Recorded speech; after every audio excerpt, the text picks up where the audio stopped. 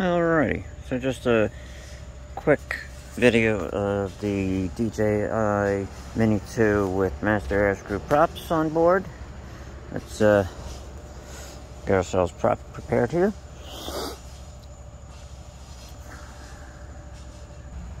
Alright, let's do a takeoff and see how these sound. Or don't sound.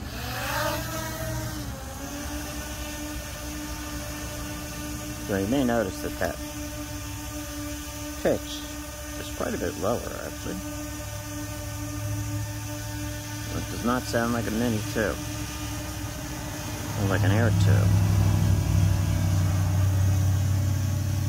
2. Not too crazy about the blue. I do have an orange set, which I think I'll put on for a little more contrast.